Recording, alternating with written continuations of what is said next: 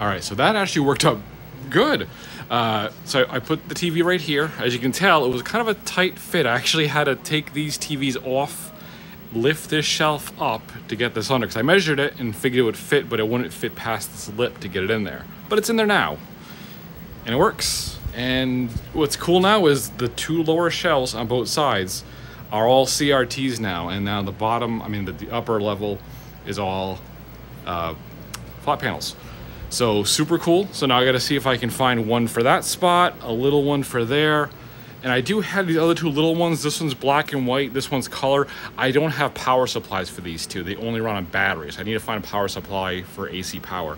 But beyond that, it's it's getting there. Progress.